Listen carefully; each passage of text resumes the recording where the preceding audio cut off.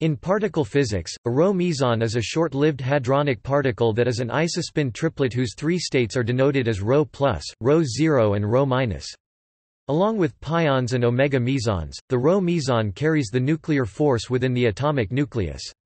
After the pions and kaons, the Rho mesons are the lightest strongly interacting particle, with a mass of 775.45 plus or minus 0.04 MeV, roughly 770 MeV for all three states. The Rho mesons have a very short lifetime and their decay width is about 145 MeV with the peculiar feature that the decay widths are not described by a Breit-Wigner form.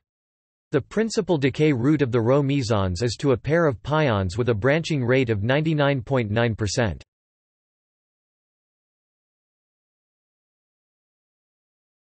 Topic: Composition.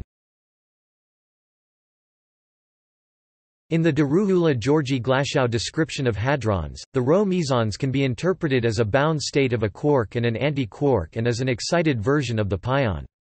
Unlike the pion, the Rho meson has spin j equals 1 a vector meson and a much higher value of the mass.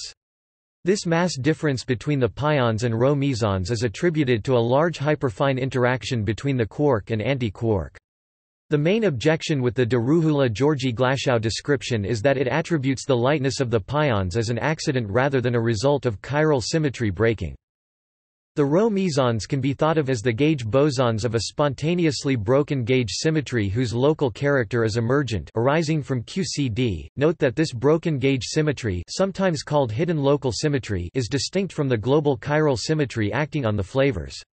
This was described by Howard Georgi in a paper titled, The Vector Limit of Chiral Symmetry, where he ascribed much of the literature of hidden local symmetry to a nonlinear sigma model.